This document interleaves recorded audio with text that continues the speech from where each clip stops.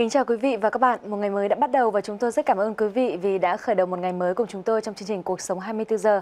Hôm nay là ngày 1 tháng 5 năm 2016. Tôi là biên tập viên Vi Dung. Còn tôi là biên tập viên Thùy Dương. Mở đầu chương trình ngày hôm nay như thường lệ, mời quý vị và các bạn chúng ta sẽ cùng điểm qua một số những nội dung đáng chú ý. Người dân chen nhau tập trung ở khu vực trung tâm thành phố Hồ Chí Minh để chứng kiến màn pháo hoa tầm cao rực rỡ, chào mừng 41 năm ngày thống nhất đất nước. Các nhà thiên văn học châu Âu công bố vừa phát hiện một sao chổi không đuôi đầu tiên và đặt tên là Manch.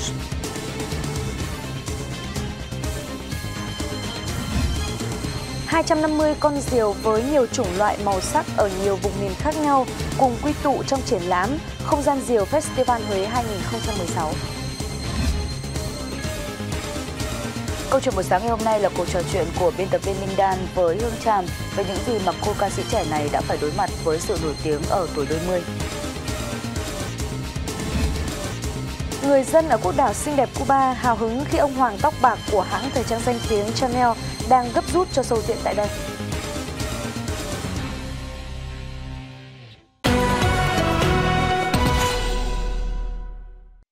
Chào mừng kỷ niệm Ngày Thống nhất 30 tháng 4 và Quốc tế Lao động mùng 1 tháng 5. Người dân thành phố Hồ Chí Minh không chỉ có những ngày nghỉ dài, những buổi vui chơi, mà đầu tiên phải kể đến sự háo hức cho đêm bắn pháo hoa. Vào đêm ngày hôm qua 30 tháng 4, tại thành phố Hồ Chí Minh, hàng ngàn người đã tập trung ở nhiều điểm và chiêm ngưỡng màn bắn pháo hoa rực rỡ chào mừng ngày 30 tháng 4. Và dù phải chen nhau, nhưng không gian cũng thoáng đãng hơn rất nhiều so với những lễ bắn pháo hoa trước đó, vì phần lớn người dân đã trở về quê hoặc đi du lịch. Từ khoảng 20 giờ, khu vực phố đi bộ Nguyễn Huệ đã đông đúc người dân tập trung về, lựa chọn vị trí đẹp nhất và hợp lý nhất để có thể ngắm pháo hoa từ phía hầm Thủ Thiêm. Khu vực này cũng là vị trí truyền thống để có thể tổ chức bắn pháo hoa tầm cao vào nhiều kỳ lễ Tết của thành phố. 21 giờ đến 21 giờ 15 phút là khoảng thời gian ngàn người dân cùng hướng mắt lên bầu trời, chiêm ngưỡng sự rực rỡ của màn biểu diễn chào mừng ngày thống nhất 30 tháng 4. Ngoài điểm bắn pháo hoa tầm cao ở đường hầm sông Sài Gòn, còn có 3 điểm bắn pháo hoa tầm thấp trong thành phố, bao gồm công viên Đầm Sen, huyện Củ Chi và huyện Cần Giờ. Trước đó, nhiều con đường và trung tâm thành phố cũng được phong tỏa để phục vụ cho màn biểu diễn pháo hoa được mong chờ nhất trong đợt kỳ nghỉ lễ kéo dài này.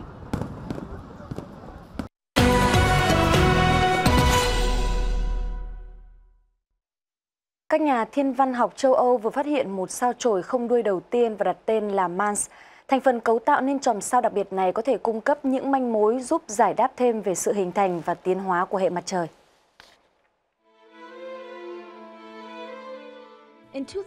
Nghiên cứu đăng trên tạp chí khoa học tiến bộ của Mỹ ngày 29 tháng 4 cho biết, chòm sao chổi có tên là Mars, tên được đặt theo một giống mèo không đuôi, được cấu tạo nên bởi đá và hợp chất bằng lạnh.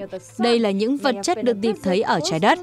Thông thường các sao chổi có đuôi khác được hình thành tại khu vực lạnh, tối, cách rất xa hệ mặt trời.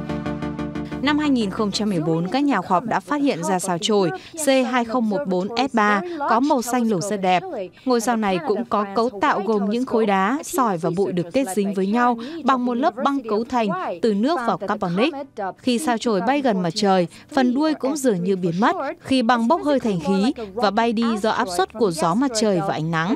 Hiện các nhà khoa học đang tìm kiếm thêm xem có bao nhiêu sao chổi giống như Mars đang tồn tại trong hệ mặt trời và di chuyển của chúng như thế nào, khiến phần đuôi của nó bị gió làm biến mất.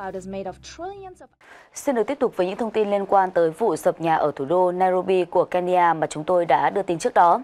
Số người thiệt mạng trong sự cố sập chung cư này đã tăng lên ít nhất 15 người, trong khi đó còn nhiều người khác bị thương. Cảnh sát Kenya cho biết nguyên nhân của vụ sập chung cư 6 tầng Ohuruma, phía đông thủ đô Nairobi, diễn ra vào hôm 30 tháng 4 là do các trận mưa lớn. Sự cố đã khiến ít nhất 15 người thiệt mạng và 130 người khác bị thương. Ngoài ra, rất nhiều người đã sơ tán khỏi chung cư này. Còn trên phạm vi toàn thủ đô Nairobi, Hội chữ thập đỏ Kenya cho biết hơn 800 hộ gia đình đã bị ảnh hưởng bởi lũ lụt. Ngay sau khi xảy ra vụ sập nhà, Tổng thống Kenya Uhuru Kenyatta đã đến hiện trường chỉ đạo công tác cứu hộ, yêu cầu các cơ quan chức năng liên quan thống kê các căn nhà trong diện nguy hiểm, chuyển người dân đến nơi ở an toàn. Ông cũng yêu cầu Tổng thanh tra lực lượng cảnh sát nhanh chóng phát hiện và bắt giữ chủ của các căn nhà, phớt lờ các quy định xây dựng của nước này. Còn tại Ấn Độ, ít nhất 6 người thiệt mạng và 5 người bị thương khi một tòa nhà 3 tầng đổ sập ở Mumbai. Vụ việc cũng xảy ra vào ngày 30 tháng 4.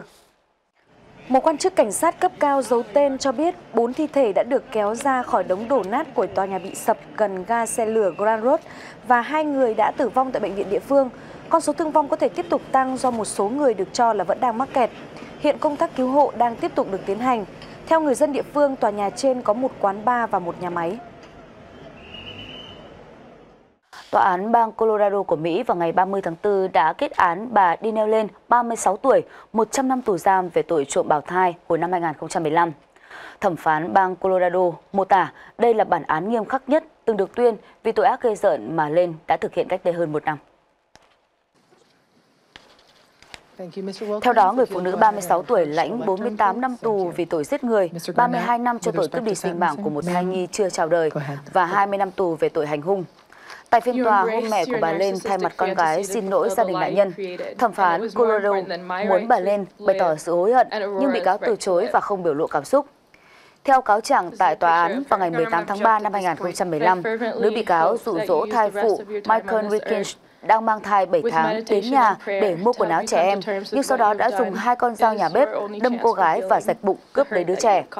Khi chồng bà lên, bà lên thông báo mới bị sảy thai và được đưa tới bệnh viện. Trong lúc ông Riley đưa vợ đi khám, nạn nhân là Wiskin gọi số điện thoại khẩn cấp 911. Nạn nhân tức tốc được chuyển tới bệnh viện và may mắn sống sót sau cuộc phẫu thuật. Có một chi tiết đáng chú ý là bà Lên trước khi thực hiện vụ cướp thai nhi đã giả vờ mang thai nhiều tháng, nhưng ông Riley không hề hay biết. Trong ngày 30 tháng 4, mưa lớn đã quét qua các bang Texas và Oklahoma ở miền nam của nước Mỹ, khiến cho nhiều nhà cửa hư hỏng và mất điện trên diện rộng. Lốc xoáy đã xảy ra tại thị trấn Lindale, phía đông Texas, khiến cho việc kinh doanh bị ảnh hưởng. Lốc xoáy đã khiến cho nhiều cây cối gãy đổ và mất điện. Khoảng 15 đến 20 ngôi nhà bị hư hại hoặc phá hủy tại khu vực nông thôn gần Big Sandy, cách Lindale 32 km về phía đông bắc. Dự báo mưa lớn sẽ tiếp tục xảy ra tại Houston, thành phố lớn nhất bang Texas trong ngày hôm nay mùng 1 tháng 5. Còn tại bang Oklahoma cũng đã xảy ra ít nhất hai trận lốc xoáy khiến cho nhiều nhà cửa bị hư hại. Theo thống kê, các trận mưa bão đã khiến cho 429 ngôi nhà và doanh nghiệp trên khắp nước Mỹ bị mất điện. Đợt nắng nóng khủng khiếp đang hoành hành ở Nam Á chưa có dấu hiệu dừng lại. Ấn Độ là quốc gia bị ảnh hưởng nặng nề nhất khi đã có hơn 300 người chết vì các bệnh liên quan tới nhiệt độ cao trong tháng này. Nhiệt độ cao đang gây ra hạn hán nghiêm trọng ở phần lớn lãnh thổ Ấn Độ, giết chết cây trồng vật nuôi và khiến 330 triệu người không đủ nước sinh hoạt. Tình trạng nghiêm trọng tới mức giới chức bang Bihar, miền đông Ấn Độ cấm người dân một số khu vực nấu ăn từ 9 giờ đến 18 giờ hàng ngày. Việc đốt dơm dạ và các nghi thức tôn giáo có sử dụng lửa cũng bị cấm. Ai vi phạm có thể bị phạt tù một năm. Cục Khí tượng Ấn Độ hôm 28 tháng 4 dự báo tình trạng nắng nóng tồi tệ hơn trong tháng 5 tới. So với năm ngoái, nhiệt độ ở Ấn Độ vào tháng 4 năm nay đã tăng từ 4 đến 5 độ C. Hàng trăm trường hợp đột quỵ vì nhiệt cũng đã được ghi nhận ở Thái Lan, Malaysia và Việt Nam. Trong ngày 29 tháng 4 vừa qua, tỉnh Mây Hông Song ở miền Bắc Thái Lan đã chứng kiến mức nhiệt 44,6 độ C. Đây là nhiệt độ cao nhất đo được ở Thái Lan từ năm 1950, cướp đi sinh mạng ít nhất 21 người kể từ tháng 3 cho tới nay. Trong khi đó, Campuchia ghi nhận nhiệt độ kỷ lục 42,6 độ C hôm 15 tháng 4, còn tại Lào là 42,3 độ C. Dịch vụ tàu khách trên tuyến đường sắt dài 266 km nối liền thủ đô Phnom Penh và tỉnh Sihanoukvai ở Tây Nam Campuchia đã vừa chính thức hoạt động trở lại sau 14 năm gián đoạn. Đích thân Thủ tướng Campuchia đã có mặt trên toa số 1 của đoàn tàu để quảng bá cho sự kiện này. Theo lịch trình, tàu khách tuyến Phnom Penh, Sihanoukvai và ngược lại được khởi hành vào 7 giờ sáng các ngày thứ Sáu, thứ Bảy và Chủ nhật mỗi tuần với hai điểm dừng tại tỉnh Takeo và Kapot các toa thường của tàu được trang bị quạt, còn các toa VIP có gắn hệ thống điều hòa nhiệt độ. Giá vé một chiều là 6 đô la Mỹ. Mỗi chuyến tàu có thể chở hơn 200 hành khách và thời gian di chuyển từ Phnom Penh đến sihanoukville khoảng 7 tiếng đồng hồ. Trước đây, Campuchia có hai tuyến đường sắt gồm tuyến đường sắt Phnom Penh, Sihanoukvai và một tuyến phía Bắc từ Phnom Penh đến thị trấn biên giới poipet sát với Thái Lan với chiều dài là 385 km. Hai tuyến đường sắt này lần lượt được xây dựng vào năm 1929 và 1969, nhưng sau đó bị hư hại nghiêm trọng trong nhiều thập kỷ nội chiến. Dịch vụ tàu khách Phnom Penh Sihanoukvai ngưng hoạt động vào năm 2002 do xuống cấp. Năm 2009, Ngân hàng nhà uh, Ngân hàng Phát triển châu Á và các đối tác khác đã cung cấp khoản vay 141 triệu đô la Mỹ để giúp Campuchia phục hồi hai tuyến đường sắt này. Tuyến đường sắt Phnom Penh Poipet dự kiến sẽ hoàn thành vào cuối năm nay.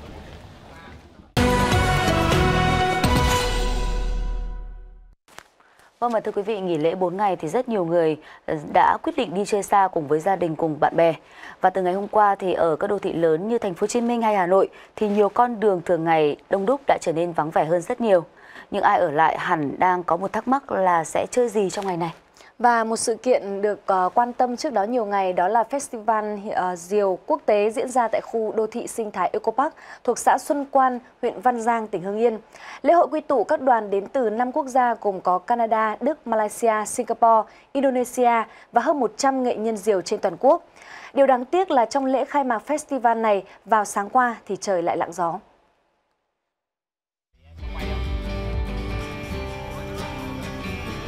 Thưa quý vị, Festival Diều Quốc tế đang diễn ra tại khu uh, sinh thái Eco Park uh, tại tỉnh Hưng Yên. Uh, thời tiết ngày hôm nay dường như khá thuận lợi, trời nắng. Thế nhưng mà tất cả mọi người ở đây đều đang mong chờ một cơn gió để tất cả những cánh diều ở đây đang nằm dưới đất có thể tung bay lên bầu trời.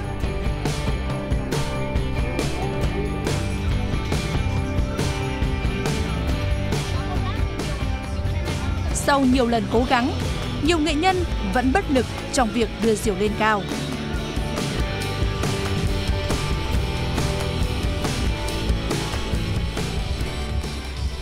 Hôm nay rất là ờ, đáng tiếc cái chỗ là thời tiết hôm nay nó gió không được thuận lợi cho cái người ờ, chơi diều sáo như là cổ truyền của mình. Nên rất tiếc vì cái chuyện là gió hơi yếu. Người thành công nhất chính là nghệ nhân Lâm Gia Hoắc đến từ Canada. Với kỹ thuật thả diều không cần gió, anh có màn biểu diễn điêu luyện trên nền nhạc opera.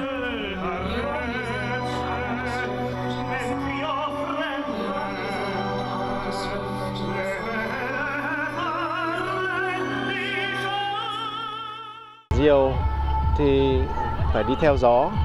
Nhưng mà bây giờ thì mình tiến hơn là mình có cây rất là nhẹ và cứng và rất là tốt. Thì với cái à, kinh nghiệm của thả diều thì sẽ điều khiển được con diều đó bay trong lúc không có gió. Chỉ một số ít diều nghệ thuật bay được lên khỏi mặt đất trong sự nỗ lực của người chơi. Tuy nhiên, độ cao không đạt như mong muốn.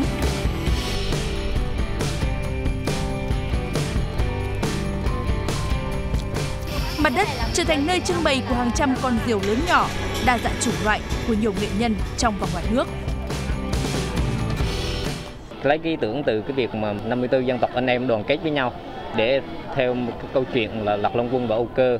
Tức là là cuối cái đuôi diều là mẹ Âu Cơ khi thả là mẹ Âu Cơ bay lên cao theo theo như một nàng tiên. Về dưới là cha là là Lạc Long Quân là rồng giữa và giữa là có mỗi đốt như vậy là 54 cái hình và 54 dân tộc anh em có đầy đủ tên tuổi. Chúng tôi có rất nhiều con diều siêu nhẹ đằng kia. Bạn nhìn thấy chúng vẫn có thể bay trong điều kiện gió rất nhẹ, thậm chí có lúc hầu như không có gió, bởi chúng tôi đã làm chúng bằng một vật liệu đặc biệt. Con diều màu đỏ trong số những con diều của chúng tôi đang bay trong gió nhẹ. Chúng tôi chỉ việc kéo nó lên là nó có thể bay cao. Festival Diều Quốc tế sẽ diễn ra từ ngày 30 tháng 4 đến hết ngày 3 tháng 5 với nhiều hoạt động thi biểu diễn, điều khiển diều truyền thống, diều nghệ thuật và thi sáo diều. Tất cả đều mong mỏi thời tiết thuận lợi, gió lớn để cống hiến cho công chúng những màn biểu diễn nghệ thuật độc đáo trên bầu trời. Còn từ nay cho đến ngày mùng 3 tháng 5, người dân và du khách tại Thừa Thiên Huế có thể chiêm ngưỡng 250 con diều với nhiều chủng loại màu sắc ở nhiều vùng miền khác nhau, cùng quy tụ trong triển lãm Không gian diều Festival Huế 2016. Mỗi loại diều mang nét đặc trưng riêng, cũng từng vùng miền, từng câu lạc bộ tạo nên sự đa dạng về chủng loại kích cỡ và màu sắc cho liên hoan. Tại đây có khoảng 200 con diều mang đặc trưng của cung đình Huế, mang dáng dấp của Long Lân Quy Phụng Đại Bàng. Riêng các loại diều miền Nam lại mang phong cách hiện đại từ thiết kế cho đến màu sắc và các họa tiết trang trí. Để chuẩn bị cho liên hoan lần này, các nghệ nhân làm diều đã dày công chuẩn bị trong 2 tháng qua, từ các khâu chuẩn bị nguyên liệu đến thiết kế và chế tác. Từ ngày 29 tháng 4 đến ngày 3 tháng 5 sẽ diễn ra các buổi trình diễn thả diều nghệ thuật do các nghệ nhân thực hiện.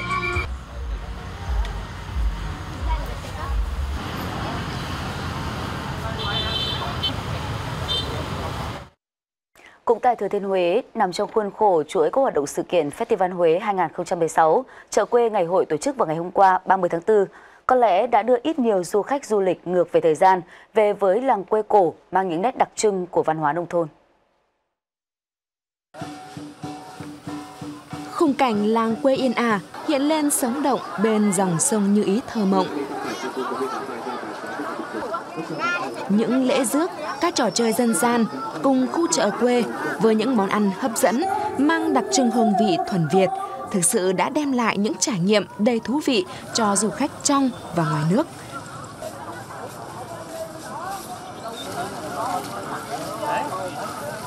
thành phố nó không biết được cái, cái những hoạt động của miền nông thôn như thế nào cho nên người ta à, mở cái chương trên chợ quê ngày hội ở cầu ngoại thanh toàn để đưa về để gần gũi với cuộc sống của người dân à, bên đồng ruộng bên cánh đồng bên con sông bên con đò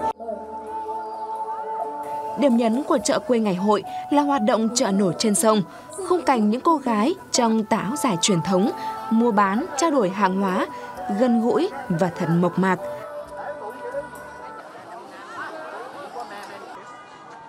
Uh, very nice for the people for the festival. Đây là lần đầu tiên tôi đến đây, tôi cảm thấy mọi thứ ở đây đều rất thú vị. Cái mà thể hiện ở bối cảnh ở nông thôn này á, là gợi ý cho chúng ta là tình cảm quê nhà và rất là ý nghĩa hơn. Được bắt đầu từ sáng sớm ngày 30 tháng 4, chợ quê ngày hội đã thu hút được hàng ngàn người dân địa phương và du khách tới tham dự, cùng trải nghiệm khi đắm mình trong nét văn hóa đặc trưng của nông thôn Huế như bến nước, con đò, đua ghe, hát bài tròi. Chương trình sẽ kéo dài từ nay đến hết ngày 4 tháng 5 với nhiều hoạt động và trò chơi dân gian hấp dẫn. Một trường đua mô tô và ô tô hướng theo tiêu chuẩn quốc tế đầu tiên của Việt Nam đã chính thức đi vào hoạt động vào ngày hôm nay, đúng vào dịp nghỉ lễ 30 tháng 4 mùng 1 tháng 5. Đó chính là đường đua Happyland được xây dựng tại tỉnh Long An với quy mô trên 130.000 m2, đang được đông đảo giới đam mê tốc độ hào hứng chào đón. Vào đúng dịp lễ 30 tháng 4 mùng 1 tháng 5, giải vô địch mô tô Việt Nam và giải vô địch ô tô Rally Việt Nam tỉnh Long An mở rộng là hoạt động đầu tiên tại trường đua hiện đại này Gần 100 vận động viên trên toàn quốc đã tham dự với nhiều dòng xe khác nhau. Trước khi thi đấu, các vận động viên đã được thử nghiệm, trải nghiệm và tham quan mặt sân ở khu vực dành cho mô tô. Đồng thời các huấn luyện viên và vận động viên chuyên nghiệp đến từ Malaysia đã hướng dẫn và kiểm tra kỹ năng lái xe trước khi chính thức vào đường đua. Trường đua Happyland là trường đua đầu tiên tại Việt Nam được xây dựng hướng theo chuẩn quốc tế về cơ sở vật chất và huấn luyện, có thể tiếp nhận 25.000 khán giả. Đặc biệt hướng tới việc xây dựng một quy trình chuẩn hóa từ khâu chuẩn bị, làm quen, huấn luyện cho đến các giải đua chuyên nghiệp. Mục tiêu lâu dài có thể xây dựng và phát triển đội ngũ vận động viên sẵn sàng với các giải đua tầm cỡ quốc tế. Chuyển sang một thông tin khác, giá ga tại thành phố Hồ Chí Minh và một số thị trường ở khu vực phía Nam bắt đầu tăng thêm 400 đồng một kg bắt đầu kể từ đầu tháng 5. Theo các công ty kinh doanh ga tại thành phố Hồ Chí Minh, từ đầu ngày hôm nay mùng 1 tháng 5, giá ga tại thành phố Hồ Chí Minh và một số thị trường trọng điểm tại khu vực phía Nam có sự điều chỉnh tăng. Mỗi bình ga loại 12 kg tăng thêm 505.000 đồng so với mức giá hiện nay. Giá ga bán lẻ đến tay người tiêu dùng sẽ không quá 281.000 đồng một bình ga 12 kg. Giá bình ga của Totoga là không vượt quá 296.000 đồng một bình 12 kg. Đây là lần thứ ba liên tục trong vòng 3 tháng qua, giá ga đã có sự điều chỉnh theo hướng tăng. Cho đến nay, giá ga đã tăng khoảng 16.000 đồng một bình 12 kg. Nhằm chia sẻ khó khăn cho các doanh nghiệp sản xuất kinh doanh, mới đây Ngân hàng Nhà nước đã đề nghị các ngân hàng cắt giảm lãi suất cho vay. Ngay sau đề nghị này, một loạt ngân hàng tuyên bố giảm lãi suất cho vay ngắn, trung và dài hạn. Theo đó, Vietcombank điều chỉnh mức ưu đãi lãi suất cho vay chung dài hạn Việt Nam đồng về tối đa 10% một năm trong thời gian một năm để hỗ trợ các doanh nghiệp trực tiếp sản xuất kinh doanh. Ngân hàng BIDV cũng chính thức điều chỉnh giảm lãi suất cho vay Việt Nam đồng. Cụ thể, lãi suất cho vay ngắn hạn được ngân hàng này giảm đến 0,5% một năm đối với các khách hàng tốt vay vốn phục vụ sản xuất kinh doanh. Còn lãi suất cho vay chung dài hạn theo quyết định mới của BIDV tối đa không quá 10% một năm đối với các khách hàng tốt vay vốn phục vụ sản xuất kinh doanh. Vietinbank cũng vừa thông báo hạ lãi suất cho vay chung và dài hạn từ ngày 29 tháng 4 về tối đa là 10% một năm. Liên quan đến thông tin về việc phát hiện gạo nghi làm giả tại chợ Đông Hà, tỉnh Quảng Trị do người dân cung cấp, sau khi lấy mẫu gửi đi xét nghiệm, cơ quan chức năng của tỉnh Quảng Trị đã đưa ra kết luận gạo mà người dân phản ánh không phải là gạo giả mà là gạo thật như các loại gạo thông thường khác.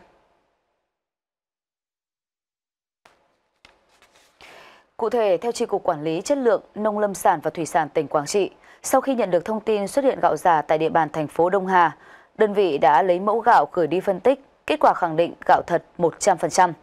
Kết quả kiểm nghiệm cho thấy hạt gạo khô rời trắng ngà có mùi đặc trưng của gạo và không có mùi lạ, vị lạ. Qua phân tích các chỉ số hàm lượng chất tinh bột và chất đạm trong mẫu gạo không có gì bất thường. Từ kết quả kiểm tra ban đầu bằng cảm quan ngâm trong nước, Giang cùng với kết quả phân tích từ Trung tâm Kỹ thuật Tiêu chuẩn Đo lường Chất lượng 2 Đà Nẵng, cơ quan chức năng tỉnh Quảng Trị kết luận gạo mà người dân phản ánh không phải là gạo giả mà là gạo thật. Mô hình phòng khám bác sĩ gia đình có vai trò quan trọng trong việc chăm sóc sức khỏe ban đầu cho người dân và giảm quá tải bệnh viện. Tuy nhiên, việc nhân rộng mô hình này ở nước ta hiện nay vẫn chưa đạt được hiệu quả. Vì thế, trong thời gian tới, Bộ Y tế sẽ thành lập được các mô hình phòng khám bác sĩ gia đình tại các tỉnh, thành phố trong cả nước để bảo đảm đến năm 2020 có ít nhất là 80% các tỉnh, thành phố trực thuộc Trung ương triển khai được mô hình này. Theo đó, phòng khám bác sĩ gia đình sẽ bao gồm phòng khám bác sĩ gia đình tư nhân, gồm cả phòng khám chữa bệnh ngoài giờ hành chính, có nhu cầu hoạt động theo mô hình phòng khám bác sĩ gia đình. Phòng khám bác sĩ gia đình thuộc Bệnh viện Đa khoa tuyến huyện, tức là bệnh viện nhà nước. Đáng lưu ý về nhiệm vụ của mô hình phòng khám bác sĩ gia đình có rất nhiều điểm mới, tạo điều kiện cho người bệnh được chăm sóc tốt hơn. Chẳng hạn như với trạm y tế tuyến xã hoạt động theo nguyên lý y học, gia đình có nhiệm vụ thực hiện chuyển tuyến khám bệnh, chữa bệnh theo quy định. Đối với các phòng khám bác sĩ gia đình được thực hiện các nhiệm vụ như là sơ cứu, khám chữa bệnh đối với các bệnh thường gặp, thực hiện việc chăm sóc sức khỏe, sàng lọc phát hiện sớm bệnh và khám bệnh chữa bệnh tại phòng khám và tại nhà của người bệnh có hồ sơ theo dõi sức khỏe toàn diện liên tục cho cá nhân và gia đình. Thì làm nó có một cái di chứng như vậy, mình mình biết là Thưa quý vị, chứng nhận chất lượng y tế quốc tế JCI của tổ chức độc lập phi lợi nhuận Joy Commission International được xem là bộ tiêu chuẩn vàng trong lĩnh vực y tế. Và ở Việt Nam thì ngoài bệnh viện Mắt Cao Thắng cách đây ít năm, hệ thống bệnh viện Vinmec thì nay bệnh viện Pháp Việt cũng đã chính thức được công nhận JCI vào những ngày cuối tháng 4 năm 2016. Để có thể đạt được chứng nhận này, bệnh viện Pháp Việt phải đảm bảo về chất lượng điều trị, chất lượng phục vụ, chăm sóc bệnh nhân, các quy trình đòi hỏi đều phải đáp ứng theo tiêu chuẩn của JCI. Bệnh viện Pháp Việt cũng đã được sự thẩm định gắt gao của nhóm chuyên viên y tế đẳng cấp quốc tế để có thể được cấp chứng chỉ. Quan trọng hơn cả, việc đạt chứng chỉ và duy trì chất lượng theo tiêu chuẩn này cũng đòi hỏi sự nỗ lực và đầu tư của toàn bệnh viện trong một thời gian dài. Bệnh viện Pháp Việt được thành lập vào năm 2003 với 499 cổ đông là các bác sĩ Pháp. Mỗi năm tiếp nhận hơn 200.000 bệnh nhân khám và điều trị. Đây cũng là bệnh viện đầu tiên phát triển mô hình du lịch khám chữa bệnh. Buổi lễ đón nhận, nhận chứng nhận chất lượng y tế quốc tế JCI với Bệnh viện Pháp Việt có sự tham gia của Bộ trưởng Bộ Y tế Nguyễn Thị Kim Tiến và Cục trưởng Cục Khám chữa bệnh Lương Ngọc Khuê. Trước đó, Việt Nam cũng đã có hai bệnh viện đạt tiêu chuẩn JCI trong số hơn 800 bệnh viện đạt chuẩn trên toàn thế giới.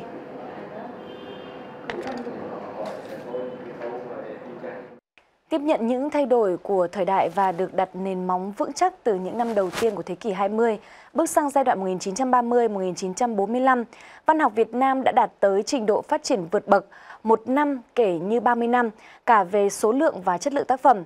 Tiêu biểu đó là những gương mặt à, văn nhân giai đoạn đó là Ngô Tất Tố, Vũ Trọng Phụng, Nam Cao, Nguyên Hồng hay là nhà văn Thạch Lam. Vâng và có rất nhiều những tác phẩm của những nhà văn nổi tiếng này đã được đưa vào trong nhà trường như là Chí Phèo, Đời thừa vợ nhặt, Những ngày thơ ấu hay là Gió lạnh đầu mùa. Và hôm nay chúng tôi muốn giới thiệu cùng quý vị bộ sách Văn nhân Việt Nam 1930-1945, tổng hợp những tác phẩm tuyển chọn của các văn nhân tiêu biểu giai đoạn 1930-1945. Chí Phèo là một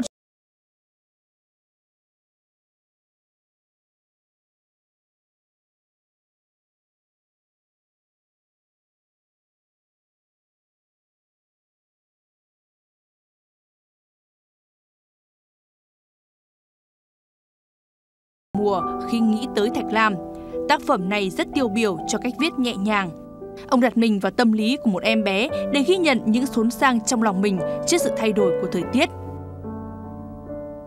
Tập truyện ngắn Gió lạnh đầu mùa được in lần này tổng hợp nhiều truyện ngắn của ông như hai đứa trẻ, dưới bóng hoàng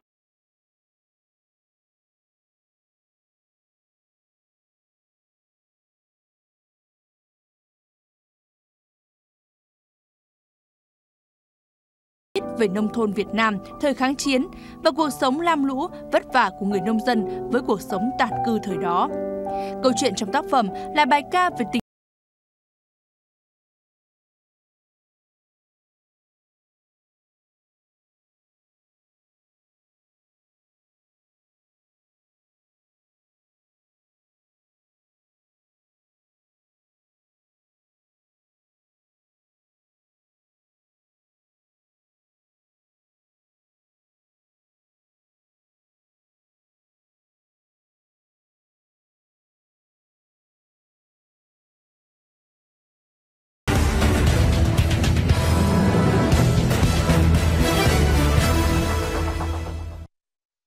Tiếp theo xin mời quý vị cùng đến với những thông tin đáng chú ý được đăng tải trên các trang báo ra vào số cuối tuần. Thưa quý vị, kết thúc cuộc họp đầu tiên của Thường trực Chính phủ với lãnh đạo các bộ ngành để giải quyết các vướng mắc trong việc thực hiện luật doanh nghiệp và luật đầu tư đầu tuần này, Thủ tướng Nguyễn Xuân Phúc đã kết luận là phải ban hành văn bản quy định chi tiết và hướng dẫn thi hành hai luật trên theo quy trình rút gọn à, và kiên quyết là sẽ xong trước ngày 1 tháng 7 năm 2017. Đồng thời, Thủ tướng cũng giao Bộ Kế hoạch và Đầu tư chủ trì phối hợp với Văn phòng Chính phủ và các bộ ngành khẩn trương triển khai xây dựng nghị định này. Đây là một quyết định rất cứng rắn nhằm tấn công trực diện vào cơ chế xin cho mà chính các bộ ngành đã tạo ra trong suốt nhiều năm qua, gây khó khăn trồng chất cho môi trường kinh doanh ở Việt Nam. Không phải ngẫu nhiên mà ông Bùi Quang Vinh, nguyên là Bộ trưởng Bộ Kế hoạch và Đầu tư, được ca ngợi là Bộ trưởng Cải cách. Ông đã thuyết phục được chính phủ và Quốc hội thông qua một điều khoản rất quan trọng trong luật đầu tư, đó là các điều kiện đầu tư kinh doanh đã được ban hành trước ngày 1 tháng 7 năm 2015. Dưới hình thức thông tư, quyết định sẽ đương nhiên hết hiệu lực thi hành từ ngày 1 tháng 7 năm 2016. Điều này có nghĩa là điều kiện kinh doanh sẽ chỉ được gói gọn từ văn bản pháp luật cấp nghị định của chính phủ trở lên và thẩm quyền ban hành điều kiện kinh doanh chỉ giới hạn trong cấp chính phủ thay vì tràn lan ở các cấp, các bộ, các ngành và cả các địa phương. Thưa quý vị, trong chuyên mục kinh doanh và pháp luật của báo Kinh tế Sài Gòn số ra cuối tuần có bài viết Quyền tự do kinh doanh, tương thích và bất cập. Quyền tự do kinh doanh lần đầu tiên được ghi nhận chính thức tại Điều 57 Hiến pháp năm 1992. Kế thừa tinh thần đó, Điều 33 Hiến pháp năm 2013 khẳng định người dân có quyền tự do kinh doanh trong những ngành nghề mà pháp luật không cấm. Cụ thể hóa, Luật Doanh nghiệp 2014 và Luật Đầu tư 2014 khẳng định doanh nghiệp có quyền tự do kinh doanh trong những ngành nghề mà luật không cấm. Quyền tự do kinh doanh về cơ bản được cụ thể hóa qua một số quyền như quyền tự do thành lập doanh nghiệp, lựa chọn ngành nghề kinh doanh, quyền tiếp cận thị trường, quyền bình đẳng, tự do cạnh tranh lành mạnh, quyền được đảm bảo sở hữu tài sản của doanh nghiệp. Mục, mục tiêu của luật doanh nghiệp và luật đầu tư là đơn giản hóa điều kiện, thủ tục cấp phép, dỡ bỏ hàng loạt những hạn chế, bất cập của quy định cũ, mở rộng các nhóm quyền tự quyết của doanh nghiệp. Qua gần một năm thực thi luật doanh nghiệp và luật đầu tư 2014 có hiệu lực từ ngày 1 tháng 7 năm 2015, danh mục ngành nghề cấm kinh doanh hay kinh doanh có điều kiện vẫn còn khá nhiều điểm chưa tương thích các nguyên tắc cam kết tại các hiệp định TPP hay FTA. Ngay từ khâu đăng ký kinh doanh, nhà đầu tư đã bấp vấp phải những rào cản thủ tục mã hóa ngành nghề dựa vào hệ thống ngành kinh tế của Việt Nam. Không ít nhà đầu tư gặp khó khăn nếu chọn kinh doanh những ngành nghề không thuộc danh mục ban hành. Yêu cầu mã hóa ngành nghề kinh doanh tương thích với hệ thống ngành kinh tế của Việt Nam là một cản trở đối với doanh nghiệp khi mở rộng đầu tư theo nhu cầu của mình. Câu chuyện rau sạch chưa lúc nào mà lại khiến cho nhiều người quan tâm như là lúc này. Ở bất cứ đâu thì người tiêu dùng cũng đều săn lùng chúng bằng nhiều kênh khác nhau. Mua rau, mua cả niềm tin, một bài viết đáng chú ý trên báo Tuổi Trẻ cuối tuần. Đà Lạt với hơn 12.500 hecta nông sản canh tác theo hướng công nghệ cao đang trở thành tâm điểm của những người khát nông sản sạch. Bằng nhiều con đường khác nhau, người tiêu dùng mua cho bằng được nông sản có xuất xứ từ Đà Lạt. Nông sản Đà Lạt muốn có mặt trong những chuỗi siêu thị lớn đều phải có chứng nhận Việt Gáp. Ở Đà Lạt, chuyện nông sản sản xuất có chứng nhận Việt Gáp hoặc tối thiểu là rau an toàn trở nên phổ biến. Đối với các nhà vườn, đó gần như là mục tiêu đầu tiên phải đạt được khi mà bước vào lĩnh vực trồng rau. Việc đầu tiên trước khi mà các siêu thị lớn đặt mối quan hệ làm ăn là kiểm tra hồ sơ sản xuất của doanh nghiệp cung ứng rau, phải có chứng nhận Việt Gáp và các giấy phân tích dư lượng thuốc bảo vệ thực vật dưới ngưỡng cho phép của Bộ Y tế. Việc các chủ trang trại hay hợp tác xã mở cửa hàng rau ở các đô thị lớn là phản ứng nhanh nhạy trên quy luật cung cầu của thị trường. Khuynh hướng này là thông điệp rất rõ ràng cho các siêu thị, nhà phân phối bán lẻ, treo đầu dê bán thịt chó, gây mất lòng tin nơi người tiêu dùng. Tuy nhiên thì việc nhà nông đi làm phân phối bán lẻ chưa chắc đã là hay bởi đây là hai chuyên ngành hoàn toàn khác nhau. Trên trang 6 báo Tiếp thị số ra cuối tuần có chia sẻ những lời nói của ông Nguyễn Lâm Viên là Chủ tịch Hội đồng Quản trị Vinamit về một cái cách hiểu khác về thực phẩm hữu cơ. Chúng ta tiến tới nông nghiệp hữu cơ sẽ dễ hơn, chỉ cần dịch chuyển từ nền nông nghiệp truyền thống sang là ổn rồi. Ông Nguyễn Lâm Viên đã chia sẻ như vậy và cho rằng nước Mỹ mà họ làm hữu cơ sẽ khó hơn Việt Nam. Tại sao? Bởi vì nền nông nghiệp khoa học hay nền nông nghiệp hóa học thì những nước phát triển lâu đời, người ta đã đi tiên phong, nhất là Mỹ và Nhật. Những nước này người ta dùng hóa học để phát triển đất nước, nhờ cái sáng tạo khoa học về hóa học để người ta phát triển nông nghiệp và các sản phẩm công nghiệp. Cho nên ngày hôm nay họ quay trở lại làm nông nghiệp hữu cơ chắc chắn sẽ khó hơn. Còn Việt Nam cũng mới phát triển nông nghiệp hóa học từ sau giải phóng, tức là khoảng hai mấy năm. Còn à, rất nhiều vùng chúng ta chưa xài thuốc, phân hóa học, nên chuyện chúng ta đi vào nông nghiệp hữu cơ hay nông nghiệp sạch thì sẽ nhanh hơn rất nhiều. Trước câu hỏi hiện tại có nhiều sản phẩm hữu cơ đưa ra thị trường lại bị ế, tại sao? Ông này cho rằng lý do đầu tiên là chúng ta chưa truyền thông đầy đủ tới nhiều người dùng. Và thứ hai là những nhà tổ chức có uy tín đại diện cho nông dân như các tổ chức phi chính phủ lại quá ít. Sản phẩm hữu cơ mà bán ở dọc đường thì ai tin ai mua, nông dân cũng không tự đem sản phẩm ra chợ để bán được. Đồng bằng sông Cửu Long hiện nay đang chết dí trong gọng kiềm thiếu ngọt, thừa mặn và phải tự xoay sở.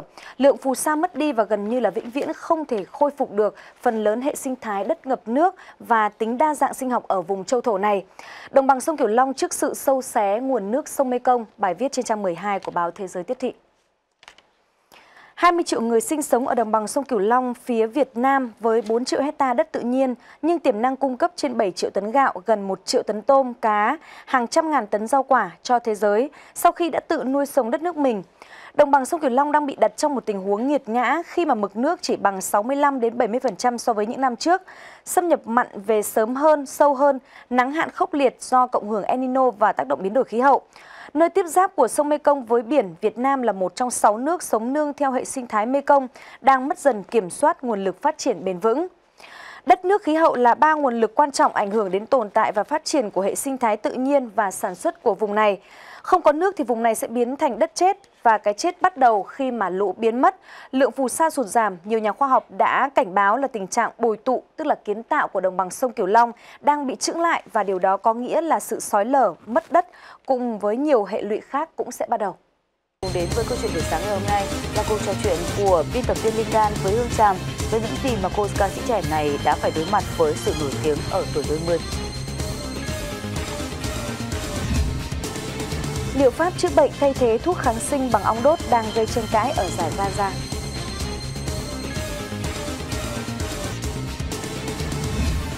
Người dân ở quốc đảo xinh đẹp Cuba hào hứng khi ông hoàng tóc bạc của hãng thời trang danh tiếng Chanel đang gấp rút cho show diễn tại đây.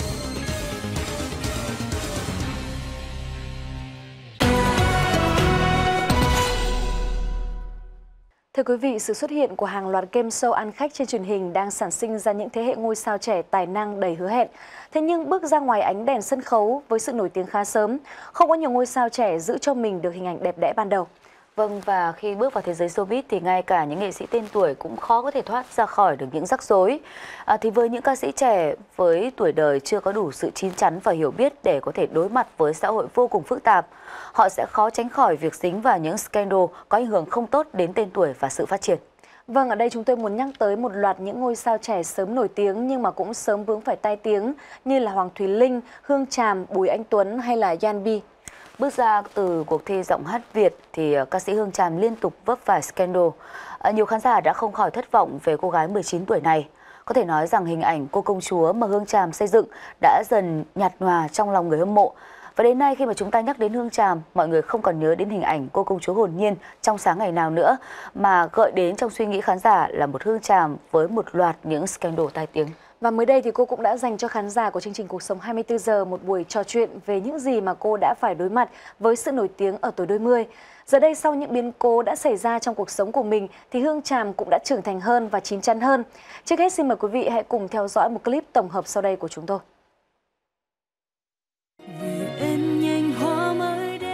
Bước ra khỏi cuộc thi giọng hát Việt, cô bé Hương Tràm 17 tuổi khi ấy có nền tảng và điều kiện tốt để đến gần hơn với khán giả.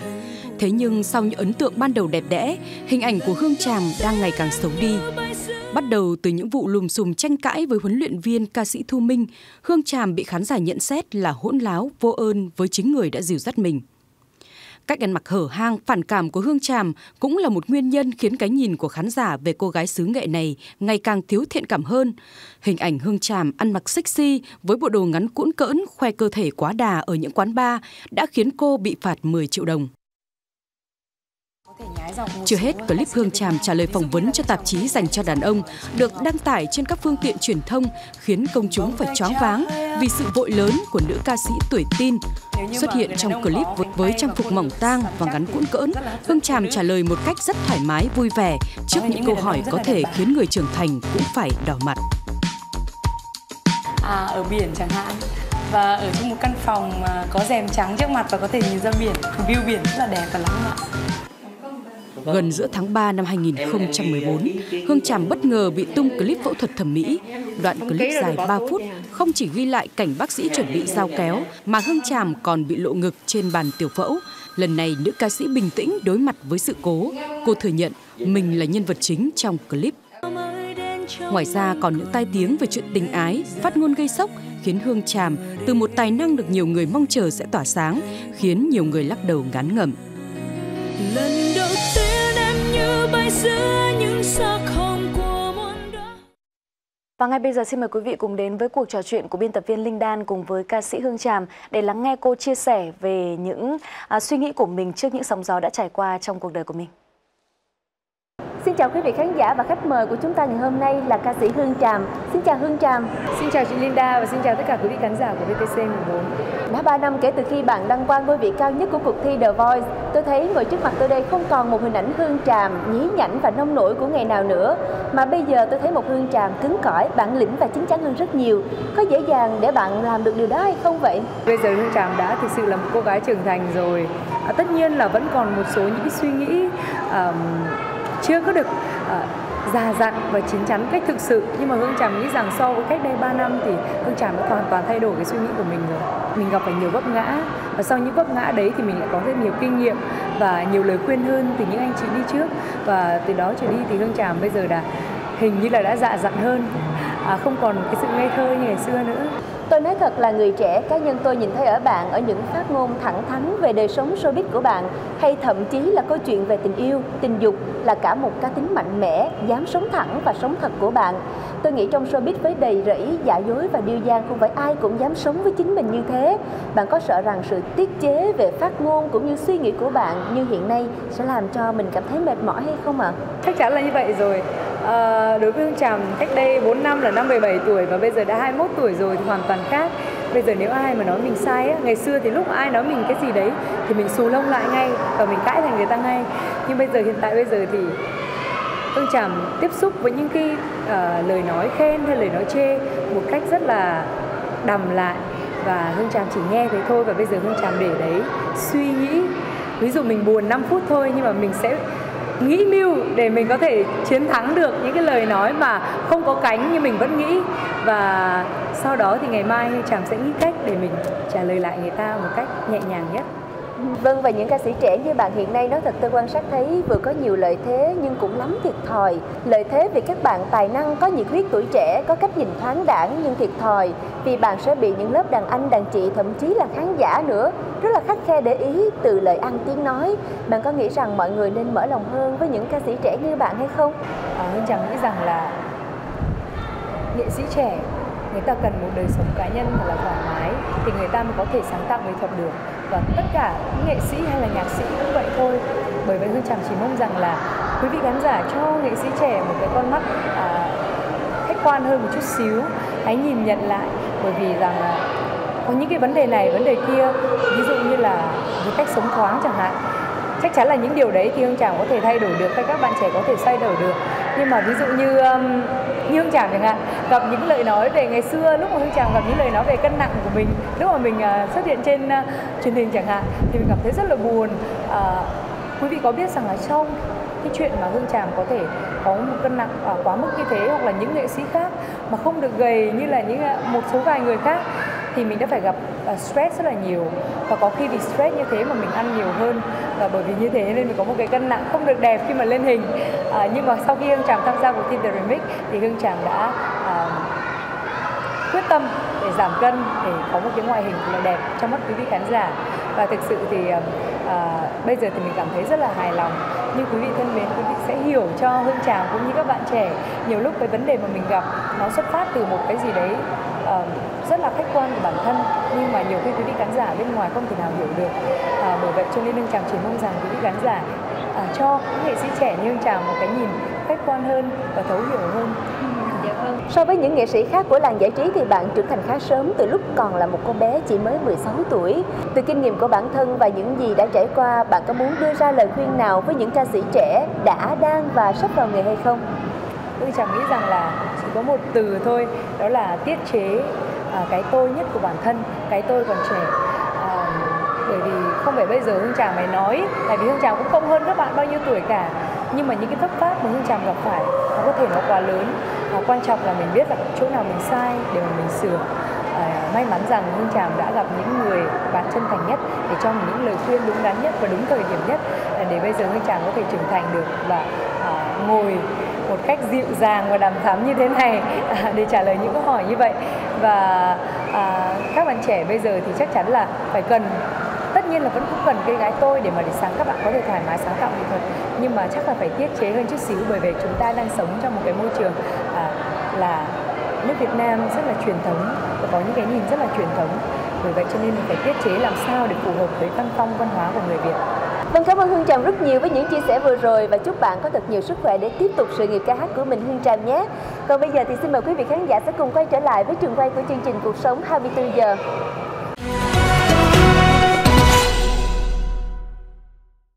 Tiếp theo chương trình mời quý vị và các bạn chúng ta sẽ cùng theo dõi một số những thông tin và sự kiện đáng chú ý sự kiến sẽ diễn ra trong ngày hôm nay, mùng 1 tháng 5. Nhân kỷ niệm 130 năm Ngày Quốc tế Lao động mùng 1 tháng 5, tối ngày hôm nay tại Cung văn hóa Lao động hữu nghị Việt Xô sẽ diễn ra lễ meeting kỷ niệm và phát động tháng công nhân năm 2016 với chủ đề Tự hào trí tuệ lao động Việt Nam. Ngoài lễ meeting, nhiều chương trình văn nghệ ngoài trời với những tiết mục đặc sắc và các gian hàng ẩm thực sẽ bắt đầu phục vụ nhân dân với các món ăn đặc trưng của các vùng miền trong cả nước vào sáng hôm nay. Ngày hôm nay sẽ diễn ra đêm nhạc đặc biệt Nắm lấy tay anh của ca sĩ Tuấn Hưng. Live show như một bức tranh tái hiện lại chặng đường và những thăng trầm trong đời sống âm nhạc của chính Tuấn Hưng. Một điều bất ngờ là trong Nắm lấy tay anh sẽ có sự xuất hiện những gương mặt được khán giả yêu thích như Phượng Vũ, Nhật Yến, Vũ Phương, Yến Phương.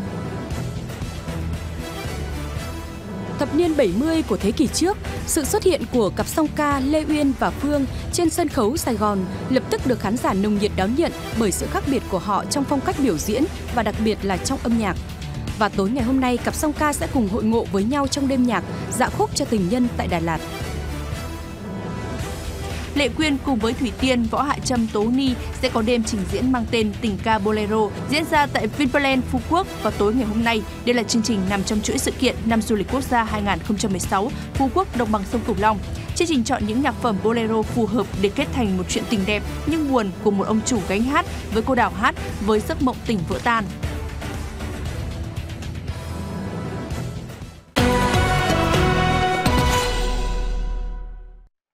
Phương pháp sử dụng động vật để chữa bệnh từ lâu đã tồn tại trong cuộc sống của con người ở khắp nơi.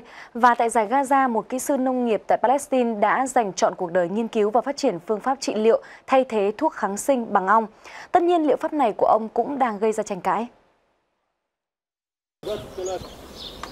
Ông Ratik Samal là một kỹ sư nông nghiệp sống tại giải Gaza.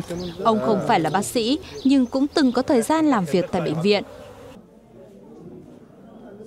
Từ năm 2003 đến nay, ông đã dành nhiều thời gian để nghiên cứu và phát triển việc điều trị thay thế thuốc chữa bệnh bằng cách sử dụng các sản phẩm từ ong như mật ong, sáp ong và nọc ong. Có rất nhiều virus trong cơ thể chúng ta. 4 tháng sau khi bị ong chích, mọi virus có thể biến mất. Điều này khiến mọi người không tin, nhưng loài ong đã sản sinh ra một loại kháng sinh tự nhiên thư hưởng kỹ năng nuôi và trị bệnh bằng ong từ cha mình, cùng với những kiến thức học được trong thời gian làm việc tại bệnh viện. Ông Ratek còn dùng liệu pháp ong châm đối với các bệnh nhân rụng tóc, bại não và cả ung thư. Hiện khu điều trị của ông tiếp đón khoảng 250 lượt bệnh nhân tới khám, chữa bệnh mỗi ngày. Tuy hiện có rất ít nghiên cứu khoa học về liệu pháp trị bệnh bằng ong đốt, thậm chí còn có quan điểm cho rằng nọc ong gây nguy hiểm đối với người dị ứng với hoạt chất này. Vì vậy, ông Ratek rất cẩn thận khi sử dụng liệu pháp này đối với bệnh nhân của mình. Với hy vọng giúp đỡ phần nào cho cuộc sống vốn gặp nhiều khó khăn của những người vô gia cư, một nữ sinh 16 tuổi tại thành phố Limerick của Iceland mới đây đã cho ra mắt một loại túi ngủ mới với nhiều công dụng vượt trội so với những sản phẩm cùng loại trên thị trường. Emily Duffy, người phát minh ra chiếc túi ngủ Duffy nói trên cho biết sản phẩm được lót một lớp vật liệu không những có khả năng chống cháy, chống thấm nước, đồng thời còn có thể giữ nhiệt. Không những vậy, chiếc túi ngủ Daphne còn có đặc tính phản quang nên người đi đường sẽ dễ dàng nhìn thấy. Điều này giúp đảm bảo an toàn cho người vô gia cư nếu họ ngủ tại bãi đỗ xe hay bên những lề đường. Ngoài ra, với thiết kế dây khóa một bên, người dùng có thể chui vào và ra khỏi túi một cách dễ dàng. Em đã nảy ra ý tưởng chế tạo sản phẩm tiện dụng này vào khoảng 2 năm trước. Lúc đó em đã nhìn thấy những người vô gia cư phải nằm ngủ trong những chiếc túi ngủ ẩm ướt. Và em nghĩ mình phải làm gì đó để cải thiện chúng và giúp đỡ cho họ. Duffy đã giới thiệu ý tưởng của mình tại buổi triển lãm công nghệ và nhà khoa học trẻ BT của Ireland vào tháng 1 năm ngoái và đã thu hút được sự quan tâm của tổ chức từ thiện chuyên giúp đỡ người vô gia cư Melicity ở thủ đô Dublin. Hiện túi ngủ Daffy được sản xuất bởi chính tay những người vô gia cư tại Dublin và cung cấp cho những người đồng cảnh ngộ ở cùng thành phố. Ngoài ra, những sản phẩm này cũng được gửi tới cho những người tị nạn ở thành phố Calais ở miền Bắc nước Pháp. Công ty năng lượng Safon Energy đã khởi động nguồn năng lượng xanh cho Tunisia bằng cách thiết kế các tua bin gió nhưng mà không có cánh quạt như thông thường. Và rất thú vị là những tua bin gió này lấy cảm hứng từ những cánh buồm trên những con thuyền trong truyền thuyết của nền văn minh Carthago, niềm tự hào của quốc gia Bắc Phi. Tua bin gió lấy cảm hứng từ cánh buồm trên các con tàu của nền văn minh Carthago 2.000 năm trước, sử dụng gió để tạo điện năng với hiệu quả tăng gấp đôi và giá thành chỉ còn một nửa theo lối khai thác phòng năng truyền thống. Saphon Energy đặt tên cho tua bin mới là Saphonian, theo tên một thần gió. Công ty cho biết loại tua bin này sẽ là nguồn cung cấp năng lượng lý tưởng cho những quốc gia đang phát triển như Ấn Độ. Dự án này rất thích hợp với Ấn Độ. Chỉ cần 50 tua bin Safonian là có thể sản xuất được 20 kW điện bằng cả một trang trại điện gió. Sản lượng điện này có thể đáp ứng được nhu cầu của một ngôi làng nhỏ khoảng 1.000 hộ dân. Được biết, từ phong năng do tua bin Safonian thu nạp sẽ tác động lên hệ thống thủy lực qua piston để nhanh chóng chuyển thành điện năng và lưu trữ trong một hệ thống ắc quy thủy lực. Theo hãng thiết kế, loại tua bin không cánh quạt này rất có lợi cho môi trường vì nó không gây tiếng ồn, không làm tổn thương các loài chim rơi. Tua bin Safonian đã được gấp bằng công nghệ sáng chế Zero Blade. Saffron Energy hy vọng sẽ đưa công nghệ này ra thị trường trong năm nay. Thông lệ hàng năm Ngày Quốc tế Lao động mùng 1 tháng 5 là dịp để người lao động tại nhiều nơi trên thế giới xuống đường bày tỏ nguyện vọng được cải thiện điều kiện làm việc, tăng thêm phúc lợi cũng như chống bất bình đẳng. Là một đất nước có nền kinh tế lớn bậc nhất Đông Nam Á, có tới 11% dân số sống dưới mức nghèo khổ. Người lao động ở Indonesia hơn ở đâu hết luôn mong muốn đồng lương được cải thiện.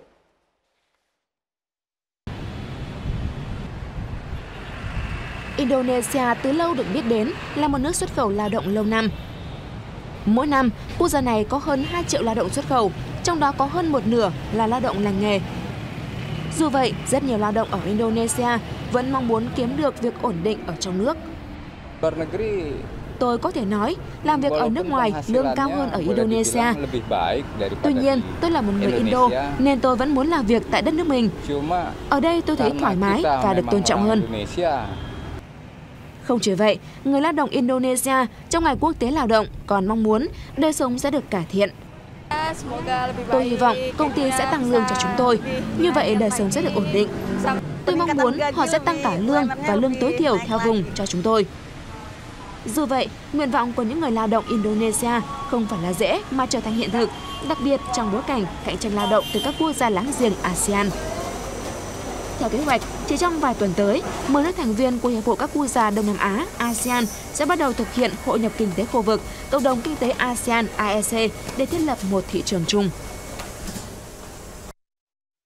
Với số dân già hóa và lượng người chết mỗi năm là 20.000 người, việc những xác chết phải xếp hàng chờ tới lượt hỏa táng không phải là điều quá xa lạ ở Nhật Bản.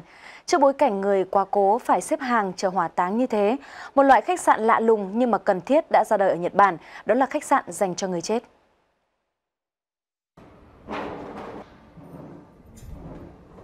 Căn nhà sâu sâu, sơn màu xám bạc ảm đạm và cửa sổ phủ kiến màu đen là nơi để chứa xác chết tại thành phố Kawasaki, Nhật Bản.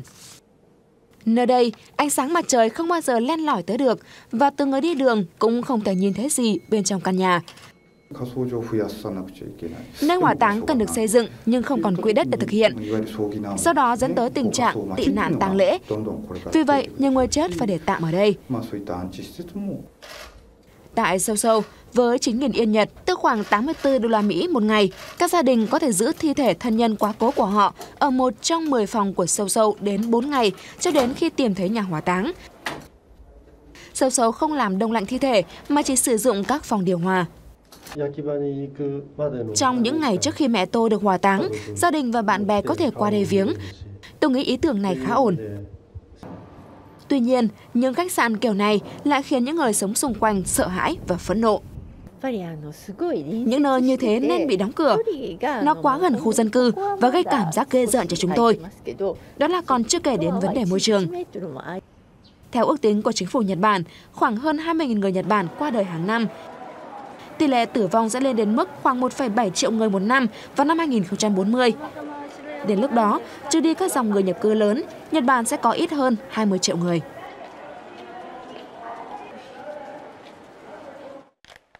Sau khi bình thường hóa quan hệ với Washington, đất nước xinh đẹp và đầy bí ẩn Cuba ngay lập tức đã được các nhà làm phim và các thương hiệu thời trang lớn nhắm đến. Khi niềm vui vì đoàn làm phim Fast and Furious khởi quay tại Havana còn chưa kịp lắng xuống, cô đào xinh đẹp này lại thêm tự hào khi ông hoàng tóc bạc của hãng thời trang danh tiếng Chanel đang gấp rút cho show Resort 2017 tại đây. Được biết, show diễn của Chanel sẽ được mở màn tại Havana vào ngày 3 tháng 5 tới. Đại lộ trung tâm Paseo del Prado, con phố dẫn tới biểu tượng Malecon, gần tòa nhà quốc hội Cuba, sẽ là sân khấu chính cho show Resort 2017 của Chanel. Suốt 4 ngày qua, các công nhân ở đây miệt mài trang hoàng cho sân khấu chính. Từ khâu sắp xếp ghế cho khách mời, tới cách bài trí cho các tháp ánh sáng đều được tiến hành rất tỉ mẩn. Đặc biệt, trước show diễn của Chanel, một cuộc triển lãm ảnh do trình giám đốc sáng tạo của Chanel là Karl Lagerfeld chụp, đã được tổ chức tại trung tâm triển lãm Old Havana. Triển lãm quy tụ hơn 200 bức ảnh, nhấn mạnh ba sở thích chính của ông Hoàng Tóc Bạc là thời trang, kiến trúc và cảnh quan. Triển lãm này là món quà mà Karl Lagerfeld trong khả năng của mình là một nhiếp ảnh gia, một nghệ sĩ chụp hình đã quyết định dành tặng Cuba nhân sự kiện ông ấy đưa show diễn của mình tới đất nước xinh đẹp này. Còn đối với các nhà thiết kế thời trang, việc Chanel chọn Havana làm điểm dừng chân là một sự kiện rất quan trọng.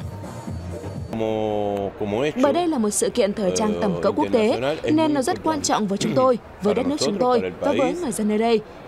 Đó chính là cơ hội để chúng tôi được tiếp cận với một nhà thiết kế thời trang nổi tiếng. Về phần mình, người dân Cuba rất háo hức với sự kiện sắp diễn ra này.